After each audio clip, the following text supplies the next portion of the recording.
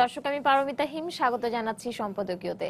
আজকের বিষয় নির্বাচনী প্রচারণা আর এ নিয়ে আলোচনার জন্য আমাদের স্টুডিওতে আজ উপস্থিত আছেন আহমদ হোসেন, সাংগঠনিক সম্পাদক বাংলাদেশ আওয়ামী লীগ, আছেন সৈয়দ মোয়াজ্জেম হোসেন আলাল, যুগ্ম মহাসচিব বিএনপি এবং আছেন আবু সাইদ খান, সিনিয়র সাংবাদিক।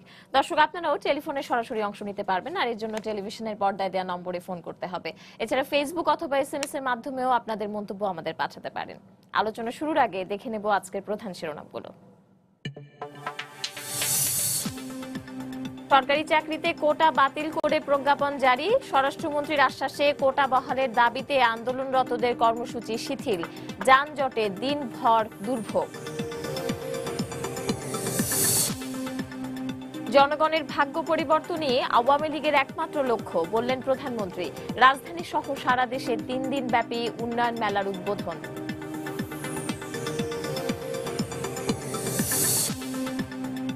রাজধানীতে আওয়ামী লীগের চতুর্থ দিনের গণসংযোগে নেতাকর্মীদের চাঙ্গা করতে নানা পরামর্শ। বেগম জিয়ার মুক্তি সহ সাত দফা দাবিতে বিভাগীয় শহরে বিএনপির সমাবেশ।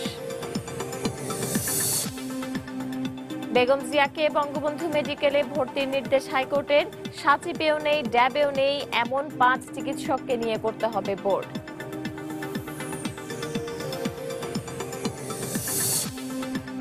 এবং এস কে সিনহার বিরুদ্ধে পাওয়া অভিযোগ তদন্তে প্রয়োজনে যুক্তরাষ্ট্র যাবেন তদন্ত কর্মকর্তা, জানালেন দুদক চেয়ারম্যান।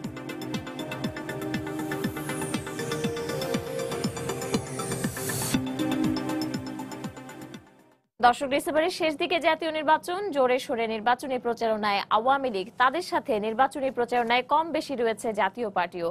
অন্যদিকে, অন্যতম বড় রাজনৈতিক দল বিএনপি নিয়ে রয়ে গেছে প্রশ্ন। তাদের সামনে এখন দুটি বড় চ্যালেঞ্জ, দলের চেয়ারপারসন বেগম খালেদা জিয়ার মুক্তি ও সামনের নির্বাচন। প্রথমে যাব সৈয়দ মোয়াজ্জেম হোসেন আলাল, আপনার কাছে জানতে চাই কারণ সারা দেশের মানুষের একটাই প্রশ্ন এখন, কোন পথে আগাবে বিএনপি, সামনে নির্বাচন নাকি খালেদা জিয়ার মুক্তি? তাই না? এটা সবচেয়ে বড় প্রশ্ন। বিএনপির কাছে সাধারণ মানুষের কৌতূহল এটাই। আচ্ছা বিএনপি কি করবে? না ঠিক আছে। কৌতূহলটা থাকা ভালো। একটা জনপ্রিয় দলের রাজনৈতিক দলের অগ্রগতি বা তাদের পরবর্তী পদক্ষেপ কি হবে এটা জানার আগ্রহ থাকাটা ভালো। তো সেদিক থেকে বিএনপির প্রতি যে মানুষের জনসমর্থনের একটা ব্যাপকতা রয়েছে সেটাও প্রমাণ পাওয়া যায়। মানুষ জানতে চায়। এই জানতে চাওয়ার মধ্য দিয়ে আমরা যেটা মানুষের কাছে প্রকাশ করতে চেয়েছি এখন অবধি সেটা পরিষ্কার।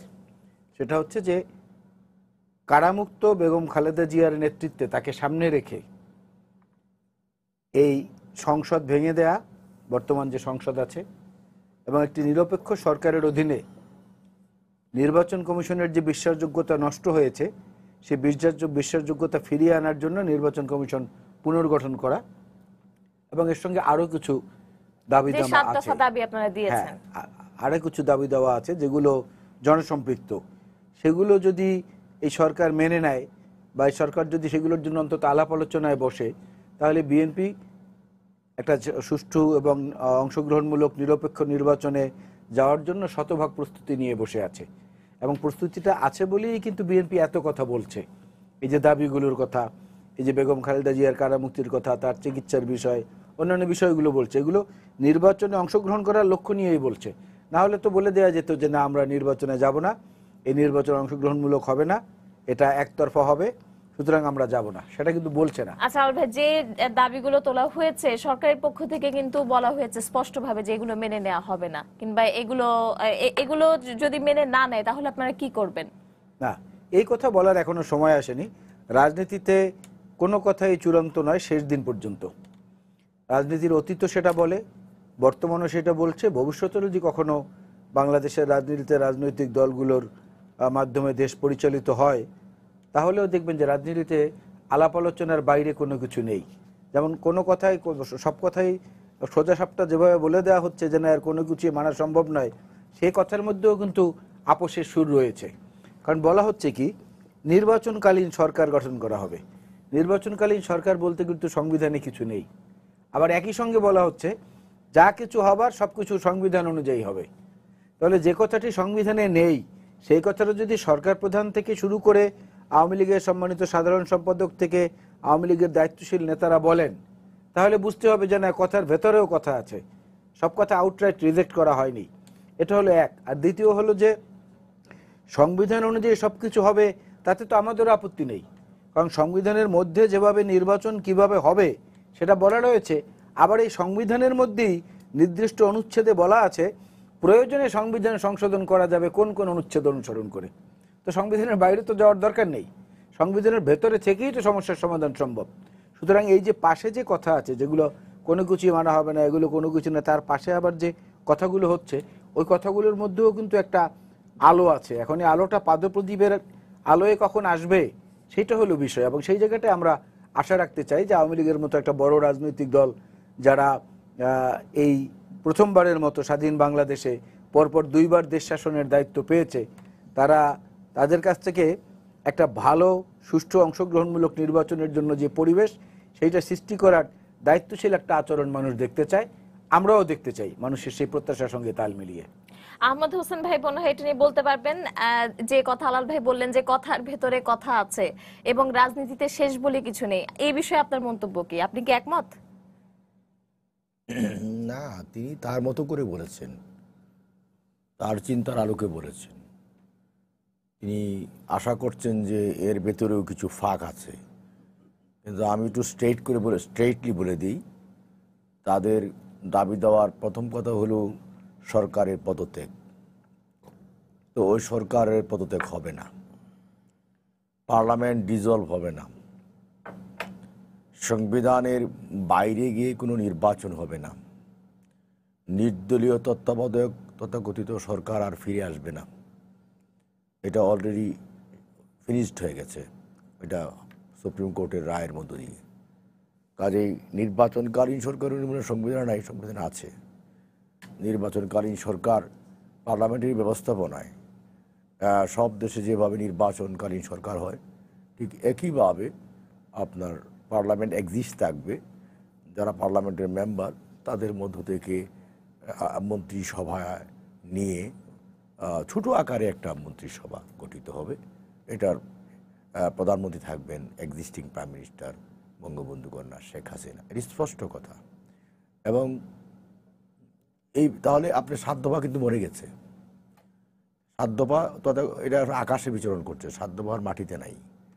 এবং তারা যেটা বলতে চাচ্ছেন যে এখনও মাস ছয় আর এক মাস আছে, শিডিউল ঘোষণাবদ্ধ হয়ে যাবে নভেম্বরের প্রথম দিকে নির্বাচনের দ্বার প্রান্তে এসে গেছি। এখন আর এই সমস্ত কথা সারা বছর তো বললেন, এইগুলো কথার জন্য কথা বলা। আসলে বাস্তবে তারাও জানেন যে এগুলো বাস্তবে কখনো প্রয়োগ হবে না বাস্তবায়িত হবে না। তারা নির্বাচনে আসার জন্য তারাও কিন্তু বেকুল হয়ে আছেন এবং নির্বাচনের প্রস্তুতিও তারা ভেতরে ভেতরে নিচ্ছেন। এগুলো উপর উপরে বলা না বললেই নয়। না তারা তো কিছু প্রস্তাব দিয়েছেন কিছু শর্ত দিয়েছেন সেগুলো যদি মানা না হয় তাহলে কীভাবে তারা নির্বাচনে আসবেন? আপনারা কি মনে করছেন? এই এতদিন যেভাবে আসছেন সিটি কর্পোরেশনে যেভাবে এসেছেন ঠিক একইভাবে আসবেন। এসে বলবেন যে আমরা, এই, আমাদের নেত্রীর মুক্তির আন্দোলনের অংশ হিসেবে নির্বাচনে অংশগ্রহণ করলাম। এটা হবে তাদের ল্যাঙ্গুয়েজ আমি আগাম একটা মন্তব্য করলাম। আমি তো এত বড় মানে প্রিডিক্ট করার মতো দূরদর্শিতা আমার নেই। এবং তারা নির্বাচনে আসবেন, এটা সংকেত পাওয়া যাচ্ছে। সংকেত বোঝা যায় না। তিনি যেমন আমার ভারী ঘরের ভেতরের কথা অনুমান নির্ভর বললেন, আমি কিন্তু অনুমান নির্ভর না, আমি সংকেত পাচ্ছি। তারা নির্বাচনে আসবেন। আর যদি নির্বাচনে না আসেন, তাহলে কি আবার সেই সহিংসতা পেট্রোল বোমা? আবার সেই বাসে আগুন, মানুষের শরীরে আগুন, আবার মানুষ পুড়িয়ে হত্যা, সেই প্রিসাইডিং অফিসারকে হত্যা, পুলিশকে হত্যা, আবার দেশের নৈরাজ্য অনার্কিজম, সহিংস, তা সুতরাং বাংলাদেশটা কি অশান্তির পথে নিয়ে যাবেন? ওই পথে যাবেন? না, সঠিক পথে ফিরে আসবেন? আজকে বাংলাদেশে একটা স্থিতিশীল অবস্থা আছে। বহির্বিশ্বে বাংলাদেশে একটা ইমেজ আছে, একটা উগ্রবাদ সেভাবে দাঁড়াতে পারেনি। এটার ক্রেডিবিলিটি প্রধানমন্ত্রী শেখ হাসিনার। এখানে সাম্প্রদায়িক রাজনীতি সেভাবে দাঁড়াতে পারেনি। এটাও ক্রেডিবিলিটি প্রধানমন্ত্রী শেখ হাসিনার। আজকে বাংলাদেশ একটা উন্নয়নের রোল মডেল হিসাবে পৃথিবীর কাছে প্রতিষ্ঠিত। এখন বাংলাদেশকে আপনি উন্নয়নের ধারায় এগিয়ে নিয়ে যাবেন না সংঘাতের মধ্য দিয়ে আমার যে জিডিপি প্রবৃদ্ধি বৃদ্ধি পেয়েছে, সাথে সাত পয়েন্ট টু ওটাকে কমিয়ে নেবেন। আজকে একটা পত্রিকা দেখলাম সম্ভবত চীনের একটি গবেষণা সংস্থা তারা বলেছে যে দুই সালের মধ্যে বাংলাদেশ পৃথিবীর সবচেয়ে প্রবৃদ্ধিতে সবচেয়ে উঁচু মানের দেশ হিসাবে প্রতিষ্ঠিত হবে। তা আপনি কি ওই ওই উঁচু মানের দেশ চান না নিম্ন মানের দেশ চান? সেটা হচ্ছে বিএনপি এবং জামাতের কাছে প্রশ্ন। কারণ বিএনপি তো একা নয়, জামাতও সেখানে আছে। তারা কি চায়, কোন পথে যেতে চায়? এটা ইলেকশন তো চলে আসছে। আপনি এক মাস পরেই বুঝবেন যে বিএনপি কোন পথে যাচ্ছে? জনাব আহমদ হোসেন যেভাবে আওয়ামী লীগ নির্বাচনী প্রচার প্রচারণা চালাচ্ছে সেভাবে বিএনপি কে চালাতে দেওয়া হচ্ছে না কেন? মামলা দিয়ে তাদের নেতা কর্মীদের কেন হয়রানি করা হচ্ছে? বিভিন্ন স্থানে ভৌতিক মামলা হয়েছে আমরা দেখেছি। আমি এই প্রশ্নের উত্তর আপনার কাছ থেকে জানব। আমি আবু সাইদ খানের কাছে যেতে চাই যে বর্তমান পরিস্থিতিকে কীভাবে বিশ্লেষণ করছেন আপনি? আলাল ভাই বলছেন কথার ভিতরে কথা আছে। আর আহ, আহমেদ হোসেন ভাই বলছেন কোনো কথারই যা বলে স্পষ্ট বলা হয়েছে। আপনার কাছে কি তাই মনে হচ্ছে? আচ্ছা একটা কথা সবাই মানে আওয়ামী লীগ এবং বিএনপি স্বীকার করেন যে বিগত যে দুই হাজার চোদ্দ সালের নির্বাচনটা, এটা অংশগ্রহণমূলক হয় নাই। এবং যে কারণে সেই সেই সে আওয়ামী লীগ বিএনপিকে জন্য দায়ী করে যে বিএনপি আসলে এটা অংশগ্রহণমূলক হতো। আর বিএনপি বলে যে অংশগ্রহণমূলক হবে না বলে আমরা অংশ যাই নেই। যাই হোক, সে বিতর্ক তো দীর্ঘদিন ধরে চলছে, আমি ওই বিতর্কে চাচ্ছি না। এখন একটা অংশগ্রহণমূলক নির্বাচন সবাই চাইছেন। সরকার চাইছে, বিরোধী দল চাইছে, আমরা জনগণ সবাই চাই। এই সেই অংশগ্রহণমূলক নির্বাচন কীভাবে হবে? অর্থাৎ এটা এখানে যার যার জায়গায় রয়ে গেছে, বিএনপি তার জায়গায় রয়ে গেছে যে এটা একটা পরিবর্তন দরকার। অর্থাৎ এই অবস্থা, এই ব্যবস্থাপনায় অংশগ্রহণমূলক নির্বাচন হবে না, সরকার কোনো ছাড় দেবে না। এই যে এই অবস্থান, তো এখন এই অবস্থানে কি করে একটা অংশগ্রহণমূলক নির্বাচন সম্ভব? এখানে একটা আন্ডারস্ট্যান্ডিং দরকার, একটা রাজনৈতিক সমঝোতা সরকার এবং বিরোধী দলের মধ্যে দরকার। কিন্তু এখানে হলো আমাদের রাজনৈতিক সংস্কৃতিতে যেটা রয়ে গেছে, যে সরকার আর বিরোধী দল তো কেউ কারোর সঙ্গে যোগাযোগ করেন না, কথা বলেন না। এইটা তো দীর্ঘদিন ধরে চলছে, কিন্তু এই অবস্থা চলতে পারে না। তো একটা অংশগ্রহণমূলক যে যে কোনো ফর্মে হোক, যোগাযোগ দরকার, একটা আন্ডারস্ট্যান্ডিং দরকার। এবার ধরি, ধরা যাক যে বিএনপি নির্বাচনে অংশগ্রহণ করল না। তাহলে যে নির্বাচন হবে, সেই নির্বাচনে কি দেশের ভাবমূর্তি উজ্জ্বল হবে? সরকারের ভাবমূর্তি উজ্জ্বল হবে? উন্নয়নের ধারাকে অব্যাহত রাখা যাবে? যাবে না। তো আবার অপরদিকে বিএনপি যদি নির্বাচন থেকে দূরে থাকে, বিএনপি কি তার অস্তিত্ব রক্ষা করতে পারবে? বিএনপি কি তার রাজনৈতিক অবস্থান ধরে রাখতে পারবে? সেটাও পারবে বলে মনে হয় না। তো সেই জায়গা থেকে আমার মনে হয় যে আওয়ামী লীগ এবং বিএনপির মধ্যে একটা কমন কিছু জায়গা আসা দরকার।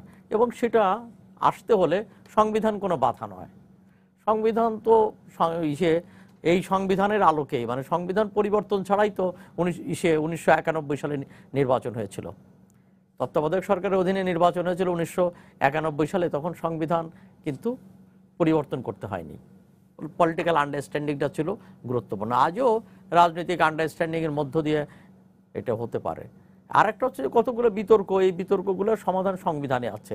যেমন সংসদ রেখে নির্বাচন না সংসদ ভেঙে দিয়ে নির্বাচন। সংবিধানে দুই পদ্ধতি আছে। যেমন একশো তেইশের কতে আছে যে সংসদ রেখে নির্বাচন প্রথম তিন মাসের মধ্যে। তো খতে সংসদ ভেঙে যাওয়ার পরে পরবর্তী তিন মাসের মধ্যে নির্বাচনে প্রভিশনটা রয়ে গেছে।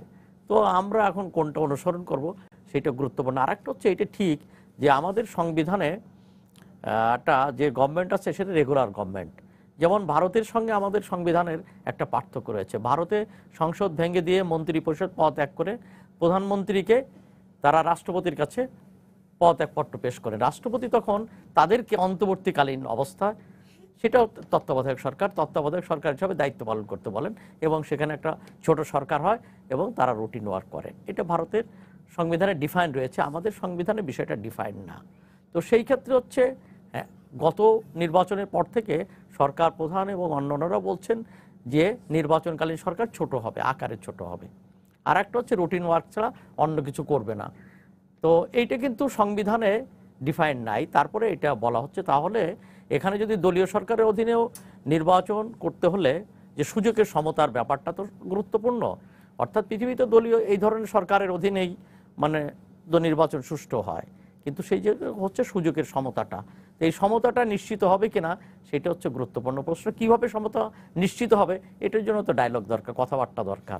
এবং সেটা এই প্রকাশ্য হতে পারে, নেপথ্যে হতে পারে। আপনি যে পলিটিক্যাল আন্ডারস্ট্যান্ডিং এর কথা বললেন, আমরা দেখেছি বিগত সময়ে প্রধানমন্ত্রী যখনই সাংবাদিকদের সঙ্গে কথা বলেছেন এই বিষয়ে প্রশ্ন যখন তাকে করা হয়েছে, তিনি কিন্তু স্পষ্ট বলেছেন যে তার অতীত অভিজ্ঞতার কথা তিনি বলেছেন এবং তার ফলে তিনি বিএনপির সঙ্গে আর কোনো ধরনের আলোচনায় যাবেন না। এটি কিন্তু তিনি জানিয়ে দিয়েছেন।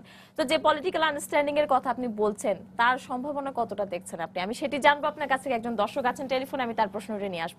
দর্শক, আপনার নাম জানিয়ে আপনার প্রশ্নটি করুন।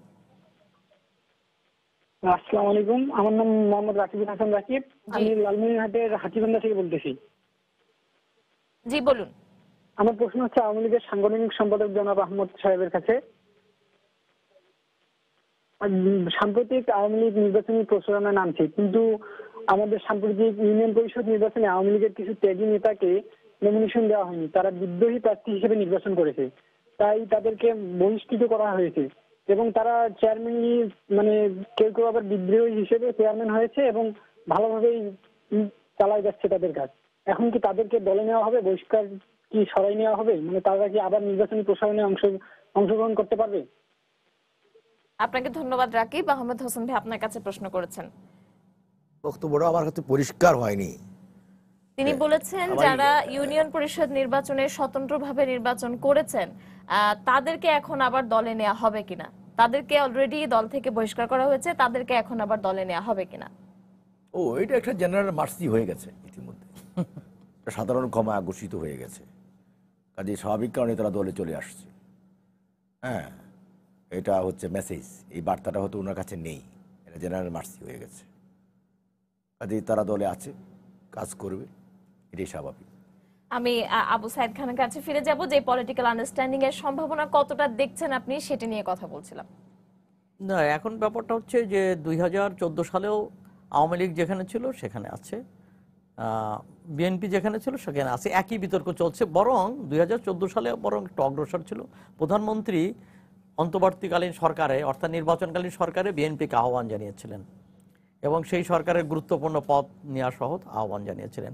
এই আহ্বানটা কিন্তু এবার বলা হচ্ছে না। তাহলে আমরাও দেখতে পাচ্ছি যে পরিস্থিতি কিন্তু কোনো উন্নতি ঘটে নাই, বরং অনেক ক্ষেত্রে পিছিয়ে আছে। অর্থাৎ সরকার সে তখন সরকার প্রধান বলেছিলেন যে তারা সরকারে আলোচনার আহ্বান জানিয়েছিলেন, সরকারে যোগ দিতে আহ্বান জানিয়েছিলেন।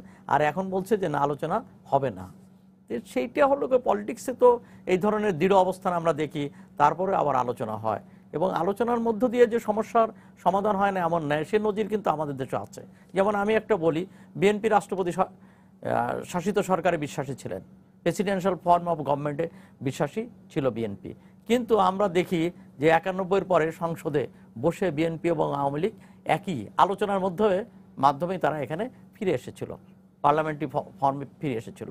এবং এই বিএনপি, আওয়ামী লীগ এবং সেই সময় আট দল, সাত দল এবং পাঁচ দল, তারা তো আলোচনার মাধ্যমেই তারা পাঁচ দফা প্রণয়ন করেছিল এবং পাঁচ দফার ভিত্তিতে আন্দোলন হয়েছিল।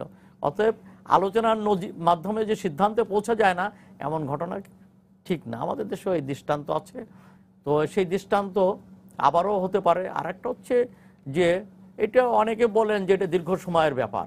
কিন্তু পলিটিক্যাল আন্ডারস্ট্যান্ডিং আসলে এই সময়ের মধ্যেও মানে আগ্রহী থাকলে তো এই সময়ের মধ্যে এটা সম্ভব। এই জন্য আমার কাছে রাজনৈতিক সদিচ্ছাটা গুরুত্বপূর্ণ। আর আমরা যদি সবাই একটা ভালো নির্বাচন চাই, তাহলে তো সেখানে অংশগ্রহণটা, সব দলের অংশগ্রহণ, বিশেষ করে আওয়ামী লীগ, বিএনপির অংশগ্রহণটা তো গুরুত্বপূর্ণ। কারণ আওয়ামী লীগ, বিএনপিকে বাদ দিয়ে এখানে আমি একটা যুক্তি দিতে চাই যে, গত নির্বাচন একশো তিপ্পান্নটা সিট, এ কোনো একতরফা নির্বাচন হয়েছে, সেখানে বিরোধী পক্ষের প্রার্থী ছিল না। সেই নির্বাচন সম্পর্কে আওয়ামী লীগের পক্ষ থেকে বলা হচ্ছে, বিএনপি অংশগ্রহণ না করার কারণে এখানে একতরফা নির্বাচন হয়েছে। আওয়ামী লীগকে দায়ী সে আওয়ামী লীগ বিএনপিকে দায়ী করছে। তাহলে অংশগ্রহণমূলক নির্বাচন করতে হলে তো বিএনপির অংশগ্রহণটা জরুরি। অর্থাৎ বাংলাদেশের বাস্তবতা দুটি হচ্ছে প্রতিদ্বন্দ্বী দল, এবং দুটোরই কিন্তু প্রায় সমসংখ্যক ভোট ব্যাংক রয়ে গেছে। এবং ফ্লোটিং ভোট যখন আওয়ামী লীগের দিকে যায় আওয়ামী লীগ জিতে যায়, এই ভাসমান ভোট যখন বিএনপির দিকে যায়, যে কোনো কারণেই যায়, তখন বিএনপি জিতে যায়। এটাই তো বাংলাদেশের আমাদের অভিজ্ঞতা। তো সেই অভিজ্ঞতার আলোকে এই দুটো দল এর অংশগ্রহণটা দরকার। অংশগ্রহণমূলক নির্বাচন মানে হচ্ছে সব দলের অংশগ্রহণ, সব মানুষের অংশগ্রহণ। সবাই যাতে নির্বিঘ্নে, নির্বিবাদে ভোট দিতে পারে এবং ভোটের যেন ঠিকমতো গণনা হয় এবং ভোটের মানে ভোটের রায় মানে ভোটের যে জনগণের জনমত যেন প্রতিফলিত হয় জনগণের রায় যেন ঘোষণার মধ্য দিয়ে ফলাফলে প্রতিফলিত হয়। তো একটা আমাদের ভালো নির্বাচন। ফেসবুকে দর্শকরাও কিন্তু কাছাকাছি কথায় লিখছেন ভোট দিতে চান সবাই নির্বাচনে অংশগ্রহণ করতে চান অংশগ্রহণমূলক নির্বাচন দেখতে চান। আলাল ভাই আহ, আপনাদের সাত দফার ব্যাপারে তো আওয়ামী লীগ বলছে যে সাত দফা, চোদ্দ দফা, এক দফা কোনোটাই মানা হবে না। যেটি আমি আপনাকে বলছিলাম যে যেহেতু তারা একটি স্পষ্ট অবস্থানে আছে বা সুস্পষ্টভাবে বলছে তারা যে এ ধরনের কোনো দাবি তারা মানবে না। আপনারা আন্দোলনের কথা বলছেন, আপনারা জনসভা করার কথা বলছেন। জনসভা করার জন্য তো আপনাদেরকে অনুমতির অপেক্ষায় থাকতে হয়। আপনারা তো গত যে জনসভা করলেন, তিনবার আপনাদেরকে তারিখ ঘোষণা করতে হলো। তো এই পরিস্থিতিতে আসলে আপনারা কি করবেন? আপনারা নির্বাচন নিয়ে কি ভাবছেন? কীভাবে নির্বাচনে আসবেন? না এখানে দুটো জিনিস। একটা হচ্ছে যে আমি কিন্তু আমার আলোচনার শুরুতে আওয়ামী লীগকে খুব সম্মানের সাথে জ্যেষ্ঠ রাজনৈতিক দল তারা একটি গণতান্ত্রিক রাজনৈতিক দল দুই দফা ক্ষমতায় ছিলেন। এই ক- কথাগুলো বলে প্রত্যাশা করেছিলাম যে একটা পজিটিভ অ্যাটিচিউড আহমেদ ভাইয়ের কাছ- থেকে অন্তত আসবে। তো তিনি দেখলাম আরেক কাঠি সরেশ। এখন সমস্যাটা সরেশ। আরেক কাঠি সরেশ। দন্ত স বয়শূন্য রয় একর দন্ত নাকি বানান ঠিক বললাম তো? আচ্ছা সরেশ। তো সেটা হচ্ছে আমি- সরেশ মানে ভালো ভালো ভালো, অগ্রসর ভালো সরেশ সরেশ হচ্ছে বাংলা শব্দ। বলে, সুরেশ না না ওইভাবে বইতে লেখা আছে এই অর্থটা তো এখানে সরেশ। নাই তো এখানে সরেশ সাধারণ মানুষ বুঝবে না আমি সরেশ লেখা নাই। আমি যে ভালো এই কথাটা বলেন। না সেটা আর আরেক কাঠি সরেশ সরেশ মানে সুরেশ সর্ষের তেলের কাছাকাছি। আলাল ভাই আমরা বোধহয় আলোচনায় যাই ফিরে হোক যাই সেই জন্য না এটাও তো আলোচনা এখন। আহমেদ ভাই বলেছেন সম্মানিত মানুষ তার কথার উত্তর না দিলে তো পাপ হবে। আমার। কারণ আওয়ামী লীগের একটা বৈশিষ্ট্য আছে দেখবেন। এই একটা সময় আজ থেকে প্রায় বারো তেরো বছর আগে হবে আনুমানিক বলছি আমি। বাংলাদেশে একটি বড় আহ, শিল্প গোষ্ঠী ওই সময়টা এত বড় ছিল না। তারা একটা সাবান মার্কেটে ছেড়েছিল সাবানটার নাম ছিল অ্যারোমেটিক। তো বিজ্ঞাপনে বলা হতো একমাত্র হালাল সাবান হচ্ছে অ্যারোমেটিক সাবান। এখন আওয়ামী লীগের বৈশিষ্ট্যটা হচ্ছে যে একমাত্র হালাল রাজনৈতিক দল একমাত্র সকল কৃতিত্বের অধিকারী হচ্ছে আওয়ামী লীগ। যা কিছু আওয়ামী লীগের কাছে আছে এটা পুরনো হলেও অ্যান্টিক্স আর যদি পুরনো বা নতুন যেটাই অন্যের কাছে আছে, সেটা হলো পুরাতন মালামাল। ওটা নতুন কিছু না। আর ওনাদের পুরাতনটা হচ্ছে এন্টিক্স। মানে আভিজাত্যের একটা দাবি সবসময় তারা করে, কিন্তু সেই অনুযায়ী কাজটা করে না। বিষয়টা দাঁড়াচ্ছে যে নির্বাচনটা হলো পার্টিসিপেটরি সবাই যেটা চাচ্ছে। আওয়ামী লীগও চাচ্ছে, প্রধানমন্ত্রীও বলেছেন, বাংলাদেশের সকল মানুষের প্রত্যাশাটা তাই। এখন পার্টিসিপেটরি নির্বাচনটা হবে যে, সেই নির্বাচনটা তো আওয়ামী লীগের নেতারাই চাচ্ছে কিনা এটাই আমাদের সন্দেহ। আমি আপনাকে উদাহরণ দিয়ে দিয়ে বলি মোটা দাগে। আওয়ামী লীগের একজন অত্যন্ত সিনিয়র নেতা মরুম শেখ মুজিবুর রহমান সাহেবের সঙ্গে থেকে রাজনীতি করেছেন। তিনি অন্তত তিন চারটি জনসভায় বক্তব্য দিতে গিয়ে বলেছেন বা অনুষ্ঠানে বক্তব্য দিতে গিয়ে বলেছেন যে বিএনপি যদি কোনো রকম নির্বাচনে জয়লাভ করে ক্ষমতায় আসে, তাহলে প্রথম দিনই এক লক্ষ লোক মারা যাবে। দেখেন আতঙ্কটা কীভাবে ছড়ানো হলো। আওয়ামী লীগের সম্মানিত সাধারণ সম্পাদক ওবায়দুল কাদের ভাই, তিনি বলেছেন যে কমপক্ষে পাঁচ লক্ষ লোক মারা যাবে। এবং আপনারা যা এই পাঁচ, এই দশ বছরে যা কিছু আয় রোজগার করছেন, এটা নিয়ে পালানোর সময়ও পাবেন না। এই যে কথাগুলো, এই কথাগুলো তো আতঙ্ক ছড়ানোর জন্য বলা হচ্ছে। জন্মাষ্টমীর অনুষ্ঠানে গিয়ে ওবায়দুল কাদের ভাই বললেন যে, বিএনপি যদি ক্ষমতায় আসে, তাহলে এই দেশে সংখ্যালঘুদের উপর অত্যাচার হবে, তাদের উপর নির্মম নির্যাতন নেমে আসবে। এই আতঙ্কগুলো ছড়াচ্ছে সরকারের পক্ষ থেকে। যেখানে সরকারের দায়িত্ব হচ্ছে আতঙ্ক দূর করা। নির্বাচনের আগ মুহূর্তের পরিস্থিতিতে আতঙ্ক দূর করা আমার এগুলো তো অতীত অভিজ্ঞতা থেকে না, না, না, বলে। এগুলো তো 2001 current, নির্বাচনের পরে, যা হয়েছিল। প্লিজ এগুলো একটাও অতীত না। এটা আমি পনেরো দিন বিশ দিন সাত দিন আগের কথা বলছি। আপনি অতীত কেন বলছেন? আমি তো পঁচাত্তরের পনেরোই আগস্ট বলি নাই। আমি তো বলি নাই উনিশশো একাশি আপনি দু সালের নির্বাচন নির্বাচনের পরে যা হয়েছিল দেশে তার তার এই যে আপনি গেলেন অতীতে। আপনি গেলেন অতীতে রাইট আপনি অতীতে গেলেন কিন্তু আমাকে যেতে বাধা দিচ্ছেন। এখানে হচ্ছে সমস্যাটা। আমি তো অতীতে যাই না আমি তো বর্তমান কথাগুলো বলছি সব। এগুলো তো এই মন্ত্রী সাহেবরা বলেছেন বলেন নাই? আমি বলছি যে আশঙ্কার কথা তারা ছড়াচ্ছে সেটি কোত্থেকে বলছে? সেটি বলছি আমি আপনাকে। না না কেন বলবে? আপনি জানেন কি করে তারা সেই আশঙ্কা থেকে বলছে আপনাকে তারা বলেছে? তারা তারা তো সেটি বলছে। তারা প্রতিনিয়ত সভা সমিতিতে বলছে একটু আগে হোসেন ভাই বললেন যে এই কথাটা কি আতঙ্ক ছড়াচ্ছে না নাকি? পেট্রোল বোমা হামলা এগুলো তো তিনি তিনি নিজেই বললেন। অতীতে তা আমাকে অতীতে যেতে নিষেধ করেন কেন? উনি যে অতীতে গেলেন তখন না আপনাকে নিষেধ করিনি আমি। আপনি অবশ্যই বলেন। তখন কেন বললেন? করিনি আমি। আপনি আপনাকে অতীতে যেতে অবশ্যই নিষেধ করিনি আমি। আপনি বলেন। আমি একটা কথা অতীতের কথা বলি নাই। এই সাত দিন দশ দিন পনেরো দিন আগের কথা যেটা বলছি। যদি আমাদের কথা আপনাদের ভালো না লাগে আমাদেরকে ডাকেন কেন? আমরা তো দরখাস্ত দেই না আপনাদের কাছে যে আমাদেরকে ডেকে ডেকে নিয়ে আসেন। না না আপনি বোধহয় বুঝতে পারেন না আমি কি বলেছি আমি তো বুঝতে কমই পারি না হলে এখানে আসলাম কেন? আপনি ভুল ভুল আপনাদের কাছ থেকে। বোঝার জন্যই তো আসছি আমি আপনাকে বুঝতে কমই পারি। আপনাদেরকে না না সংঘাতের দিকে নিয়ে যাচ্ছে এই সরকার। এই কথাগুলো দায়িত্বশীল মহলের কথা হতে পারে না। কথা হতে পারে না। এই দেখেন মামলার মামলার বাম্পার ফলন কীভাবে হয়েছে? আমরা বলি শস্যের বাম্পার ফলন ধানের বাম্পার ফলন। এক সেপ্টেম্বর মাসে মামলা ভৌতিক মামলা হয়েছে চার হাজারের উপরে। এবং আসামি হচ্ছে প্রায় চার লক্ষ। এগুলো ছিল কোনো আমলে। মামলা ছিল ঠিকই, সরকারের যে বিএনপি যখন ছিল, আওয়ামী লীগের নেতাদের নামেও মামলা ছিল। সবই ঠিক আছে। কিন্তু এগুলা কি ছিল? যে নির্বাচনের আগে আগে মামলা দিয়ে সব মাঠ থেকে উঠিয়ে দাও, যেন তারা কোনো কর্মকাণ্ড পরিচালনা করতে না পারে? এটাও কি অতীতের কথা? বলেন আপনি। এটা অতীতের কথা। কোটা আন্দোলনে, সড়ক, নিরাপদ সড়কের আন্দোলনে যারা কারাগারে ছিল, তাদেরকে যখন, তাদের মধ্যে অনেককে যখন ঈদের আগে মুক্তি দেওয়া হলো তখন বলা হলো যে আইনমন্ত্রী বললেন যে এটা প্রধানমন্ত্রী এত মহানুভব যে তিনি তাদেরকে জামিনে মুক্তি করার ব্যবস্থা করে দিয়েছেন। অর্থাৎ প্রমাণ হলো যে সরকার আদালতের ব্যাপারে হস্তক্ষেপ করে, প্রধানমন্ত্রী বলেছেন তাদের জামিন দিতে। তাহলে বেগম খালেদা জিয়ার যে মামলায় সাজা হয়েছে, সেই মামলায় তিনি জামিন পেলেন, অথচ অন্য মামলায় ঘুরিয়ে ঘুরিয়ে তার জামিন আটকে দেওয়া হচ্ছে। এবং অ্যাটর্নি জেনারেল সব জায়গায় গিয়ে বলছে, এর মধ্যে কোন কথাটা অতীত আপনি আমাকে বলেন? কোনো কথা আমি অতীত বলেছি। অতীত তো উনি বলছেন যে অতীতে সেই কি, বোমা হামলা সেই পেট্রোল বোমা মুক্ত মুখ এগুলো। হ্যাঁ অতীতে এগুলো হয়েছে। কারা করেছে সেটাও তো অনেক বিচার্য বিষয়ের মধ্যে রয়েছে। একটা কথা আছে, অপারেশন ফলস ফ্ল্যাগ বলে, ফলস অপারেশন ফ্ল্যাগ ফ্ল্যাগ বলে এটাকে, আপ- আপ- আপনার ডিফেন্সের ভাষায়। সেটা হচ্ছে যে কোনো একটা গোলযোগের মধ্যে সরকারের অনুগত কোনো সশস্ত্র আইনশৃঙ্খলা রক্ষাকারী বাহিনী কিছু খারাপ কাজ করে ওই ধরনের ঘটনা ঘটিয়ে প্রতিপক্ষের উপরে চাপিয়ে দেওয়ার ব্যবস্থা করে। সেইটা কি হয়? সেইটাও তো হতে পারে।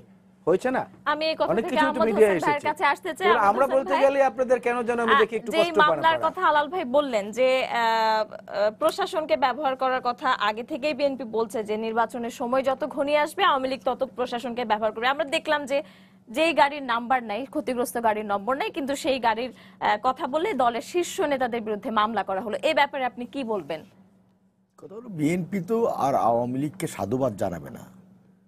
বিএনপির জন্ম হয়েছে আওয়ামী লীগের বিরুদ্ধে কথা বলার জন্য বানিয়ে বানিয়ে কথা বলার জন্য মিথ্যাচার করার আহ, জন্য। আহমদ হোসেন ভাই আমি মামলার কথাতেই যদি আচ্ছা থাকি। মামলা মামলা চার লক্ষ চার লক্ষ তো আমরা শীর্ষ নেতাদের বিরুদ্ধে যে আমরা এখন এই দেখলাম চার লক্ষ এই যে লক্ষ আসামি উনি বলে দিলেন মুখ দিয়ে চার লক্ষ তো আমরা হিসাব করে দেখি নাই। হিসাব করে এটা আবার মাঠে গিয়ে হিসাব করতে হবে আসলে কি সত্য না মিথ্যা? বিএনপি যা বলে এটা তো বিশ্বাসের কথা না। বানিয়ে বানিয়ে মানুষকে বিভ্রান্ত করা মানুষকে কনফিউজ করে যে আপনি বললেন সভা সমাবেশ করতে দিচ্ছি না। আবার বিভাগীয় আপনি বললেন যে বিভাগ আজকে কোন কোন বিভাগে তারা সমাবেশ করেছেন। সমাবেশ তারা করছেন তো। সোজা যুদ্ধে সমাবেশ করেননি। এবং প্রধান আমাকে কে কি বলল বিষয়টা? মাননীয় প্রধানমন্ত্রী কি কথা বলেছেন? সেটাকে ধরে নিয়ে আপনাকে এগোতে হবে। প্রেস কনফারেন্সে তিনি কি বলেছেন? সেটাকে ধরে নিয়ে আগাতে হবে। এখন অতীত বলা যাবে না যে অতীত যেহেতু বিএনপির কলঙ্কময় অতীত তো বিএনপির গৌরবময় না। আমরা বর্তমানে। না না না এই জন্য অতীত এই জন্য বিএনপিকে একটু শুধরাতে চাই আমরা। বিএনপি সেটা কি মামলা দিয়ে শুধরাতে না না বিএনপি যে তার কলঙ্কিত চেহারা থেকে একটু শুধরে একটু ভালো হতে চায়। ভালো তো হবে না। তার সাথে আছে যেমন শয়তানের সাথে ঐক্য করব। এটা সোরারদি উদ্যানের মঞ্চে দাঁড়িয়ে বক্তৃতা করলেন। শয়তানের সাথে ঐক্য করবেন মানে কি? যে শয়তানের সাথে তারা ঐক্য করে। তাদের সাথে যারা আমরা আদম আদম জাত। আপনি এটা বুঝবেন না আমরা আদম। আদমের পাশাপাশি শয়তানের জন্ম হয়েছিল। হ্যাঁ আচ্ছা, হ্যাঁ, আমাকে বলতে আমাকে আমাকে বলতে দেন আরে আমার কথা বলতে দেন আপনি বলুন যে আমি তো বলব, আপনি যদি বলেন, তাহলে আমি কেন তাদেরকে আপনাদের মতো করে নির্বাচনী প্রচারণা আমাদের হ্যাঁ, এটি এটি বলুন আপনি। এই যে সুরার্দি উদ্যানে তারা বক্তৃতা করলেন আমরা তো মনে করলাম যে ওদের আজকে আনুষ্ঠানিকভাবে ঘোষণা দেবেন যে আগামী নির্বাচনে বিএনপি যোগ, অংশগ্রহণ করবে। এটা কি তারা দিয়েছেন? দেননি। মানে কনফিউজ ভেতরে ভেতরে কি করছেন? আমাদের সন্দেহ আছে। বিএনপি হাফ হার্টেড বিএনপি যা বলে তা বিশ্বাস করে না। আর বিএনপির সাথে জামাত আছে। জামাত তাকে কন্ট্রোল করে। সুতরাং ভেতরে ভেতরে কি ফন্দি করতেছেন? সেটা কি ষড়যন্ত্র করতেছেন? কি চক্রান্ত করতেছেন? এই বিষয়গুলো নিয়ে আমরা সবসময় সজাগ থাকি। কারণ বিএনপি হচ্ছে ষড়যন্ত্রের পার্টি, চক্রান্তের পার্টি। বিএনপি কখনো পরিশীলিত পার্টি না। বিএনপি গণতন্ত্রে বিশ্বাস কখনো করেনি। বিএনপি জন্ম, ক্ষমতায় আসা সব কিছু হচ্ছে অগণতান্ত্রিকভাবে। কাজেই বিএনপির প্রতি আমাদের ন্যাক নজর রাখতে হয়। সবসময় সতর্ক দৃষ্টি রাখতে হয়। কু, শয়তান কোন দিকে যাচ্ছে? যারা শয়তানের সাথে ঐক্য করে, ওই শয়তানকে তো আমাদের নজরে রাখতে হবে। সেই শয়তান হচ্ছে দেশ ধ্বংস করতে পারে। সেই শয়তান দেশে আবার আবার অরাজকতা সৃষ্টি করতে পারে। আবার বোমাবাজি সৃষ্টি করতে পারে। উগ্রবাদের জন্ম দিতে পারে। আবার দেশটাকে ধ্বংসের প্রতি নিয়ে যেতে পারে। জন্যই কি এই জন্যই কি এতগুলো মামলা করা হলো? মামলা কতগুলো হয়েছে এটা নিয়ে হিসাব নেই। আমাদের ছাব্বিশ হাজার নেতাকর্মীকে দুই হাজার এক থেকে ছয় সাল পর্যন্ত হত্যা করা হয়েছিল। একুশে আগস্টের কথা মনে নেই এটা অতীত এটা কি অতীত? এটা অতীত বর্তমান। প্রধানমন্ত্রী শেখ হাসিনাকে হত্যার চেষ্টা করা হয়েছিল। আল্লাহ আল্লাহ রহমতে বেঁচে আছেন। আমাদের কত লোক মারা গেছে? চব্বিশ জন মারা গেছে। পাঁচশোর মতো নেতাকর্মী আজও ইনজু মানে পঙ্গুত্ব জীবনযাপন করছে। এগুলো কি কিছু কিছু অতীত আছে, অতীত, বর্তমান, এগুলো তুলে ধরতে হবে। মানুষকে, মানুষ তো মেমোরিতে আর রাখতে হবে যে এই ছিল বিএনপি বিএনপি কি বিএনপির সময় কত মানুষ মারা গেছে? কে কিবরিয়া সাহেব মারা গেছে আমাদের? অর্থমন্ত্রী ছিলেন, খুব লার্নেড ম্যান ছিলেন। তারপরে আমাদের আসাদুল্লাহ মাস্টারকে হত্যা করা হয়েছে। আপনি যদি বলেন, এই বালু মিয়া, সাংবাদিক, শামসুর রহমান সাংবাদিক সহ কত নেতা কর্মী তারা হত্যা করেছেন? সেই কথাগুলো আমরা বলতে পারব না। আমাকে খুন করবেন আসব আমি আপনার আমাকে হত্যা করবেন। আমি বলতে পারব না এটা আমার লজ্জা করতে হবে। খানের কাছে একটু জানতে চাই তার আগে একজন দর্শক আছেন অনেকক্ষণ ধরে অপেক্ষা করছেন টেলিফোনে তার প্রশ্নটি নিয়ে আসব। দর্শক আপনার নাম জানি আপনার প্রশ্নটি করুন। আসসালামু আলাইকুম আমি কামরুজ্জামান লাভলো নাটোরের লালপুর থেকে বলছি। জি। আমি আমার ভাইয়ের কাছে বিএনপি ভাইয়ের কাছে আলাল ভাইয়ের কাছে আমার প্রশ্নটা বিএনপি যে সাত দফা দাবি দিয়েছে, এই সাত দফা দাবি বর্তমান গভর্নমেন্ট মানবে না, আমরা গ্রামের একজন সাধারণ কৃষক হিসাবে বুঝতে পারছি। যদি এই সাত দফা দাবি তিনারা না মানেন, তাহলে আন্দোলনের অংশ হিসাবে তিনি, তিনারা নির্বাচনে অংশগ্রহণ করবে কিনা? আর নির্বাচনে অংশগ্রহণ করার পর যদি নির্বাচনে জয়লাভ করে, তাহলে জামাত শিবিরের নেতাদেরকে আবার মন্ত্রী বানিয়ে জাতীয় পতাকা দেবে কিনা? দিলে পরে কোন কোন মন্ত্রণালয় জামাতকে দেবে সেটাকে একটু আগে বলবেন? জি আপনাকে ধন্যবাদ। আপনি নিয়মিত ফোন করেন তো আপনার নামটা আমার খুব পরিচিত জায়গাটাও খুব পরিচিত লালপুর নাটোরের। এবং আমি এই অনুষ্ঠান শুরুর আগে এখানকার কলাকুশলীদেরকে বলছিলাম যে নাটোরের লালপুর থেকে একজন বোধহয় ফোন করবে। লালপুরে তো আপনার আপনার এই আগ্রহটা থাকার জন্য খুব ধন্যবাদ। তবে আপনাকে বলতে চাই আপনি একজন সাধারণ কৃষক যদি হয়ে থাকেন ভালো যে প্রশ্ন যেটা করেছেন সেটার উত্তর অত্যন্ত পরিষ্কার, স্পষ্ট। আপনি যদি এইটাই বিশ্বাস করেন যে লাইসেন্সবিহীন গাড়ি, ফিটনেসবিহীন, চালকের লাইসেন্সবিহীন গাড়ি রাস্তায় চলতে পারে না, তাহলে জামাত ইসলামীর নিবন্ধন নাই, অর্থাৎ লাইসেন্স নাই। জামাত ইসলামীর কর্মকাণ্ড প্রকাশ্যে কর- কর- করতে পারছে না, নিবন্ধন না থাকার কারণে তাদের ফিটনেস নাই। তাকে নিয়ে মনে হয় আওয়ামী লীগের বা আওয়ামী লীগের সমর্থকদের এত দরদ যে এই এই এই লাইফ সাপোর্টে থাকা জিনিসটাকে এনে জীবন্ত করে এমনভাবে ছেড়ে দেয়, মনে হয় যেন মাছ টকবক করে লাফাচ্ছে। জামাত নিয়ে এত আগ্রহ কেন? ওটা তো নাই, নিবন্ধনবিহীন। তারপরেও জামাতের সঙ্গে আমাদের যে বিরদলীয় জোটের অংশ হিসাবে জামাত ইসলামী যেটা আছে, সেটা তো সরকার কর্তৃক স্বীকৃত না। নির্বাচন কমিশন কর্তৃকও নিবন্ধিত না। তাকে নিয়ে এত দুশ্চিন্তার কিছু নাই। আর কোন কোন মন্ত্রণালয়ে তাকে দেব? যদি ওই সময় আমরা নির্বাচনে জয়লাভ করি সেটা প্রয়োজনে আপনাদের মতো সাধারণ কৃষকদের একটা প্রতিনিধি দলের সঙ্গে আলাপ করে আমরা ঠিক করে নেব কাকে কোনটা দেবো ইনশাল্লাহ। এ নিয়ে এই মুহূর্তে বেশি দুশ্চিন্তা করেন না। কারণ ওই যে বললাম না যে আবহাওয়া পরিবর্তন হচ্ছে, এখন তো সবজি চাষের সময় ওই অঞ্চলে। সেই দিকে বরং মনোযোগ দেন ভাই কৃষক। আলাল ভাই আপনার কাছ থেকে আবু সাইদ খানের কাছে না আপনার কাছে আবার ফিরে আসব। আবু সাইদ খান যে ষড়যন্ত্র তত্ত্ব নিয়ে কথা বলছিলাম আহ, আহমদ হোসেন ভাইয়ের কথায় উঠে আসলো যে বিভিন্ন ষড়যন্ত্র করছে বিএনপি। আপনার কাছে কি তাই মনে হয়? এবং আমরা তো বারবার শুনে থাকি যে নানান ধরনের ষড়যন্ত্র হচ্ছে নানান সময়ে এ ধরনের কথা উঠে থাকে। এই যে ষড়যন্ত্রের আভাস এটা কি আছে আম- আম- আমাদের এই বর্তমান পরিস্থিতিতে? আপনি কি মনে করেন? ষড়যন্ত্র যদি সরকারের কাছে যদি কোনো ইনফরমেশন থেকে থাকে, সরকারের দায়িত্ব হচ্ছে সেটা প্রকাশ করা। আর তার বাইরে একটা ষড়যন্ত্র তত্ত্ব আছে, সেটা হচ্ছে ষড়যন্ত্র হচ্ছে আমাদের একটা গালি। অর্থাৎ এক পক্ষ আর এক পক্ষকে ষড়যন্ত্রকারী বলে আখ্যায়িত করে, চিহ্নিত করে। কিন্তু এইটা এইটা আর খতিয়ে দেখে না এটি মানে এটাকে গালি হিসাবেই থেকে যায়। অর্থাৎ পরস্পর পরস্পরকে ঘায়ল করার জন্য ষড়যন্ত্রকারী শব্দটা আরও অনেক কিছু ব্যবহৃত হয়। তার ভিতরে একটা হচ্ছে ষড়যন্ত্রকারী। আর এই ক্ষেত্রে আমার বক্তব্য হচ্ছে যে আওয়ামী লীগের বিএনপির বিরুদ্ধে অনেক ক্ষোভ আছে, অনেক যন্ত্রণা আছে, সেগুলো সঙ্গত কারণও আছে। আবার বিএনপিরও অনেক ক্ষোভ আছে, যন্ত্রণা আছে, তারও কারণ আছে।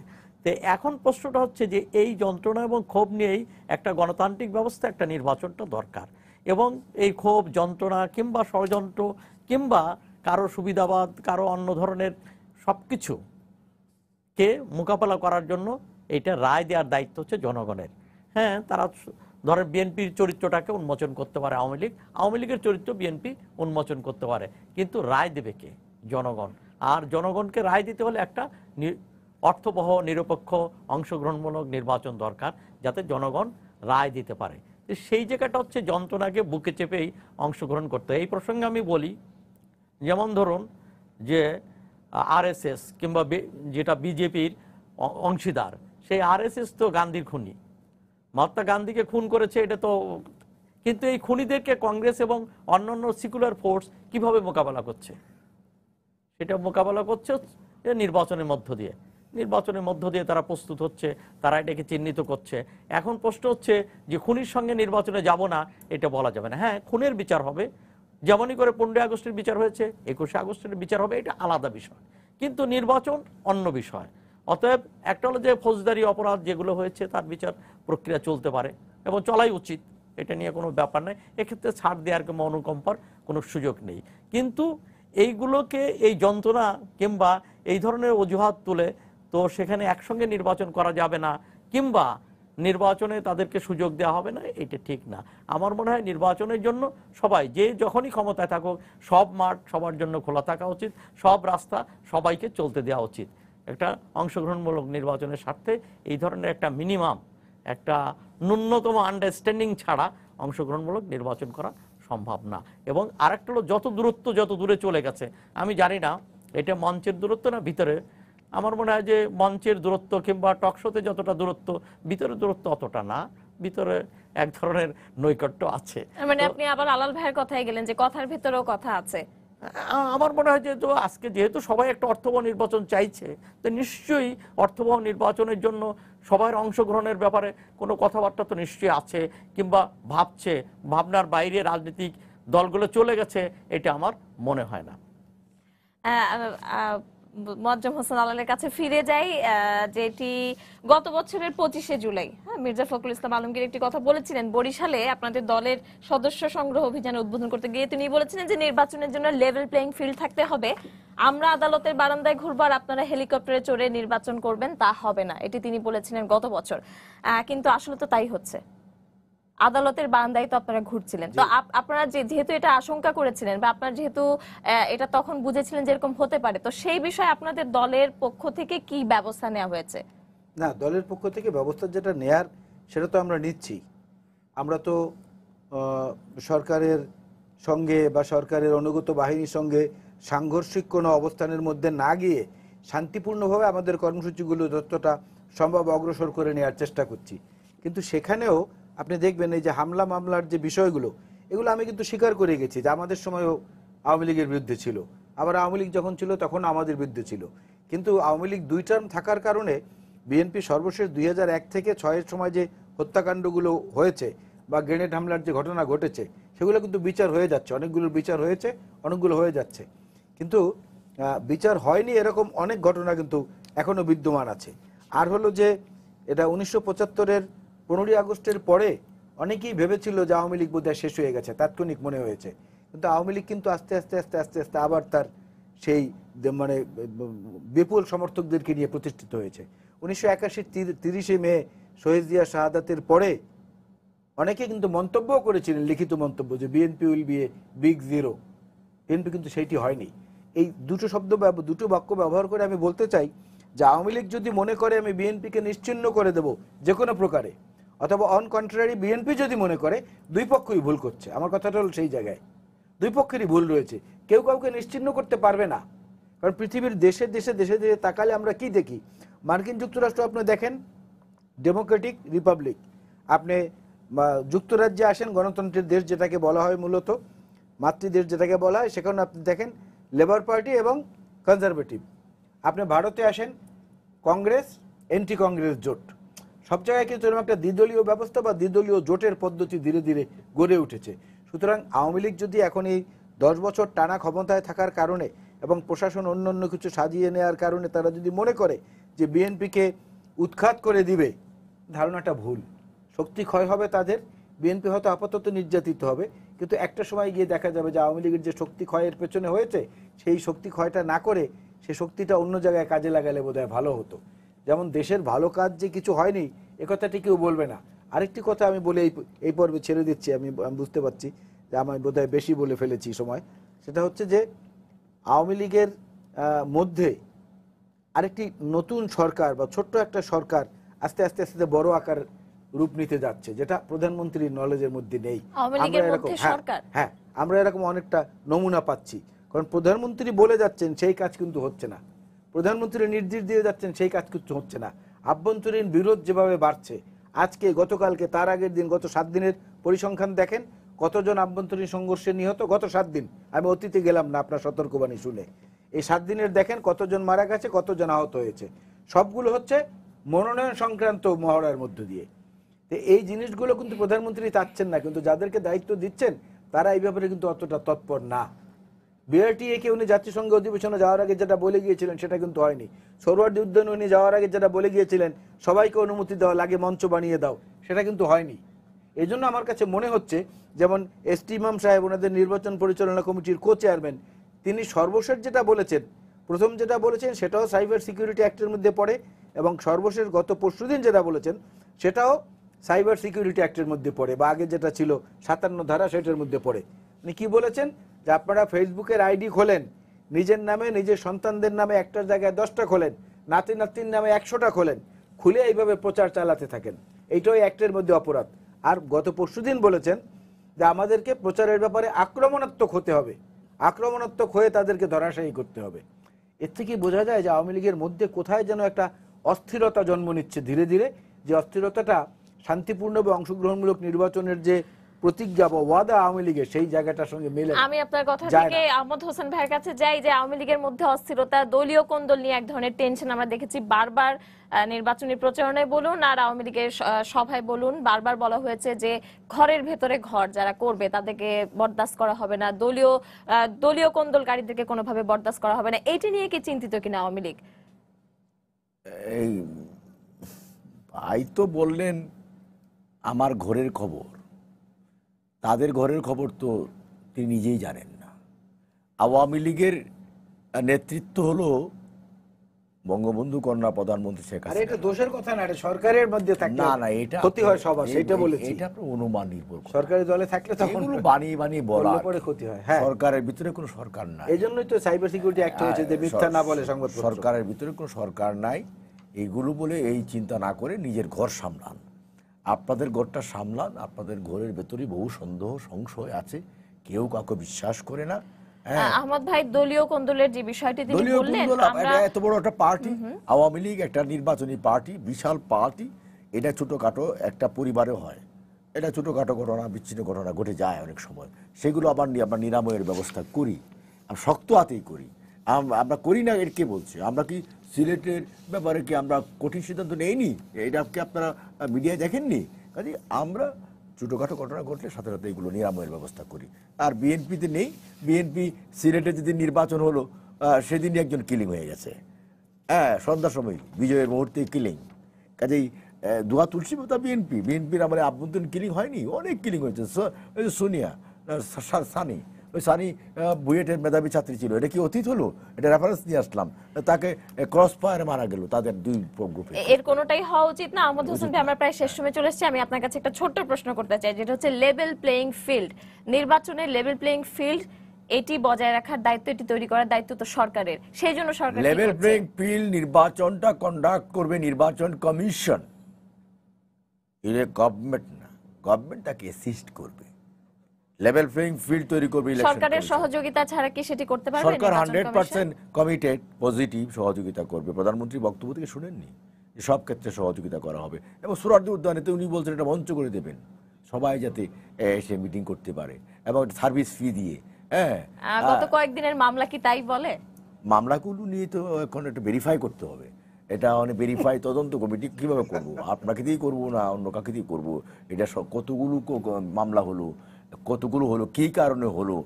হ্যাঁ মামলার কাজ করলে তো মামলা হবে। আমি মামলা যদি ফৌজদারি অপরাধ করি তো আমার নামে তো মামলা হবে। হোয়াট এভার আই মেবি কিন্তু- কতগুলো মামলা হলো? তারা বলছেন, একদিন গেলাম এক মিনিট টকশোতে বললেন যে চল্লিশ হাজার আসামি হয়ে গেছে। চল্লিশ হাজার আসামির ধারণ ক্ষমতা কি বাংলাদেশের কোনো কারাগারগুলো আছে কিনা? হ্যাঁ তাহলে বাংলাদেশের কারাগার হয়ে যাবে। সুতরাং এগুলো বলে মানুষের সিম্পিতি আনা। পাবলিক সিম্পিতি পাওয়ার জন্য কিছু বানিয়ে বানিয়ে কথা বলা। আর সরকারের বিরুদ্ধে কথা বলা তো সহজ। এটা ইজি মানুষ মানুষ মনে করবে হ্যাঁ, সরকার বোধহয় এগুলো করছে। কিন্তু সরকারের বিরুদ্ধে কথা বলা যা বলছেন তা সবই ঠিক নয়। এবং প্রধানমন্ত্রী শেখ হাসিনা খুবই সহনশীল খুবই সহনশীল। এবং এই জাতিসংঘে গেলেন। দেখেন কি চাপাবাদী জাতিসংঘে এসে নাকি চিঠি দিয়ে দাওয়াতপত্র করেছিলেন। আর নিচে আইসা একটা সহকারী সেক্রেটারির সাথে কথা বলে এসে বললেন, জাতিসংঘে সাপোর্ট পেয়ে গেলাম স্টেট ডিপার্টমেন্ট আমেরিকার সাপোর্ট পেয়ে গেলাম। আর আর এবার প্রধানমন্ত্রী জাতিসংঘে গেলেন, তখন জাতিসংঘের সমস্ত সরকার প্রধান রাষ্ট্রপ্রধানরা কি বলেছে? বলেছে আপনাকে আমরা আগামী দিনে আবার প্রধানমন্ত্রী আমি শেষ শেষ এক মিনিট আপনাকে সময় দেব। জানতে চাই যেভাবে নির্বাচনী প্রচারণা চালাচ্ছে আওয়ামী লীগ আপনি কি মনে করেন বিএনপির জন্য আরে আমরা একই পরিবেশ আছে নির্বাচনী প্রচারণা? নির্বাচনী প্রচারণা এখন নামিনি। আমরা নেমেছি যে ঢাকা শহরে আমাদের হচ্ছে জনসংযোগ। এই গণসংযোগ নির্বাচনী জনসংযোগ। হচ্ছে ষড়যন্ত্র। ষড়যন্ত্র বিএনপি জামাতের ষড়যন্ত্র রুখে দাঁড়াবার জন্য জনগণকে সংগঠিত করা জনগণকে ঐক্যবদ্ধ করা। আবার যাতে এই ঢাকা শহরে বোমাবাজি হতে না হয়, আবার যাতে সে সন্ত্রাস না হয়, তার বিরুদ্ধে জনগণকে সচেতন করা এবং জাগ্রত করা, ঐক্যবদ্ধ করা, এই কাজটা আমরা করছি। পাশাপাশি আমাদের সমস্ত নির্বাচনী এলাকায় আমাদের একাধিক প্রার্থী আছে কে দেখবেন ছবিতে ভরে গেছে। বিএনপিরও আছে, বিএনপি নামে না কেন? তারা নির্বাচনী এলাকায় কাজ করছে না কেন? আমরা কি মানা করেছি? আমরা কি মানা করছি? তারা যদি জনসভা করতে পারে তাহলে স্ব নির্বাচনী এলাকায় তারা গিয়ে জনসভা করতে পারবে না কর্মী সভা করতে পারবে না তারা করছে না কেন? তারা তো জনসভা করতে গেলে তাদেরকে অনুমতি দেওয়া হয় না নানান জায়গায় তাদেরকে দাঁড়াতেই আচ্ছা, দেওয়া হয়নি। আপনি যে বললেন বিভাগীয় কয়েকটা শহরে আজকে মিটিং হয়েছে যে সে অনুমতি দেওয়া হয়নি? সোরাটি উদ্যানের অনুমতি দেওয়া হয়নি? এখন আসতে পারলাম না উঠোন বাঁকা। গতকাল হ্যাঁ। গতকাল ঠাকুরগাঁয়ে বিএনপি বিএনপি নেতাকর্মীরা দাঁড়াতেই পারেনি। এটিও কিন্তু বিভিন্ন পত্র পত্রিকায় এসেছে আমি আমি শেষ দুই মিনিটে আমি আবু সাইদ খানের কাছে যাই। বিভিন্ন কথায় বিদেশি হস্তক্ষেপের কথা আসলো। আজকে আমরা জানি কমনওয়েলথের কাছ থেকে একটি চিঠি দেওয়া হয়েছে। বিএনপি সেই চিঠি পেয়েছে বলে জানিয়েছে। যদিও আর কোনো প্রতিক্রিয়া আমি এখন পর্যন্ত জানি না। আহ, এই যে বিভিন্ন দেশের বা বিভিন্ন সংস্থার যে একটা আমাদের দেশের নির্বাচনের উপরে নজর অংশগ্রহণমূলক নির্বাচন হোক তারা কিন্তু এটি জানিয়েছেন বিশ্ব নেতারাও জানিয়েছেন শেখ হাসিনাকে বলেছেন। সব মিলিয়ে আপনি কি মনে করছেন যে এটার কোনো প্রভাব পড়বে আমাদের রাজনীতিতে? আমরা হ্যাঁ বাইরে থেকে আমাদেরকে উপদেশ দিতে পারে সবক দিতে পারে এটা দিতেই পারে। কিন্তু বাস্তব হচ্ছে আমাদের ভালো নির্বাচন করার দায়িত্বটা আমাদের এবং আমাদের জনগণের অর্থাৎ সেই ক্ষেত্রে সরকার এবং বিরোধী দলকে এটা একটা নির্বাচনী পরিবেশের জন্য উভয়কে এগিয়ে আসতে হবে। তবে দায়টা সরকারের বেশি। যারা ক্ষমতায় থাকে, রাষ্ট্রযন্ত্র তাদের কাছে দায়িত্বটা তাদের নিতে হবে। আর একটা ব্যাপারটা হচ্ছে যে এই যে পারস্পরিক কথা চোরাচুরি, কাদা চোরাচুরি, এটা আমাদের রাজনৈতিক সংস্কৃতির মধ্যেই রয়ে গেছে। কেননা কোনো ঘরেই গণতন্ত্র নেই। আওয়ামী লীগের ঘরেও সেই গণতন্ত্রের চর্চা নাই, বিএনপির ঘরেও চর্চা নাই। মানে যতটা গণতন্ত্রের চর্চা করা দরকার, আমরা দেশের গণতন্ত্র চাইছি, নির্বাচনের ক্ষেত্রে গণতন্ত্র চাইছি, কিন্তু দলের ভিতর গণতান্ত্রিক প্রক্রিয়া সেইভাবে কাজ করে না। এটা হলো একটা বাস্তব সত্য, এটা আমাদের মেনে নেওয়া উচিত, অতএব দলগুলোতে গণতন্ত্র চর্চাটা আগে খুবই জরুরি। আর গল, দলগুলোতে যদি গণতন্ত্রের চর্চা না হয়, তাহলে দেশে কি করে গণতন্ত্রের চর্চা হবে? কি করে একটা মানে অর্থবহ নির্বাচন হবে? সেই সব প্রশ্নে, যেমন মনোনয়নের ক্ষেত্রে সব কিছুর ক্ষেত্রে কি হয়? সেখানে এটা এক ধরনের ঘোষণা করে দেওয়া হয়। সেখানে তৃণমূলের মতামত হ্যাঁ আওয়ামী লীগ একটা কমিটি করে তৃণমূলের মতামত দিয়েছিল, কিন্তু সেই মতামতটা কতটুকু গ্রাহ্য করা হয়? এবং অনেক ক্ষেত্রেই দেখা যায় যে বিভিন্ন কারণে তাদেরকে যেখানে দলীয় ত্যাগী কর্মীদেরকে বাদ দিয়ে সেখানে টাকাওয়ালারা নির্বাচন মনোনয়ন বাগিয়ে নিয়ে যাচ্ছে, কিনে নিয়ে যাচ্ছে। এমন ঘটনা তো আমরা জানি। অতএব সব ক্ষেত্রে এই গণতন্ত্রটা একটা প্র্যাকটিসের বিষয় আমরা আমরা সেই গণতন্ত্র চর্চার অপেক্ষায় থাকলাম। আবু সাইদ খান শেষ করতে যাচ্ছে আপনাদের সবাইকে অনেক ধন্যবাদ। দর্শক আপনাদের সবাইকে ধন্যবাদ জানিয়ে শেষ করছে আজকে সম্পাদকীয়। আগামীকাল আবারও দেখা হবে রাত দশটায়। দেখার আমন্ত্রণ রইল।